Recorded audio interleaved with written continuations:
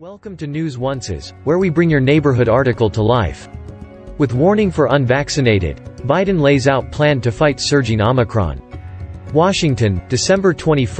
Reuters, U.S. President Joe Biden announced on Tuesday more federal vaccination and testing sites to tackle a surge in COVID-19 driven by the Omicron variant, and said 500 million free at-home rapid tests will be available to Americans starting in January.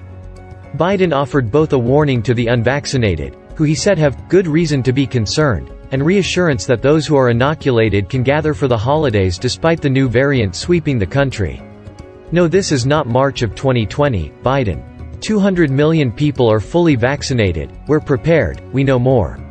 Biden's remarks came as some cities and states imposed new measures aimed at protecting the public, including stricter vaccine mandates. Striking a dire tone about the risks to the one in four American adults who are not fully vaccinated.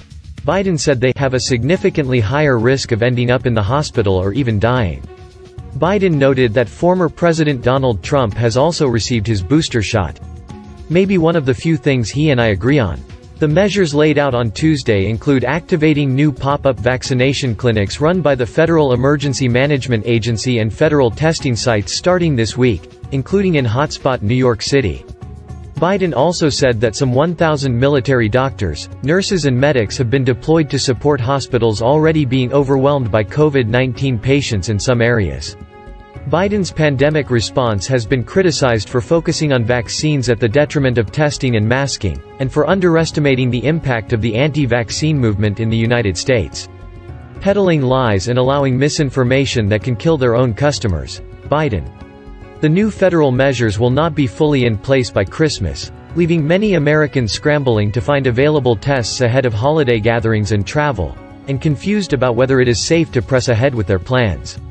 The Omicron variant, which was first detected last month and now accounts for 73% of U.S. cases, is causing infections to double in 1.5 to 3 days, according to the World Health Organization. It is not yet known whether it causes more serious illness than the Delta variant. Read more. If you like this video please subscribe, we post more of what you like. The rapid rise of infections is once again disrupting life, across the country, canceling events from Broadway shows to professional sports.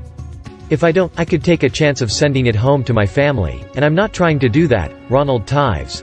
$100, for a booster in NYC. With new infections spiking, Local officials are also taking steps to encourage vaccinations, including boosters, and increase testing and mitigation measures.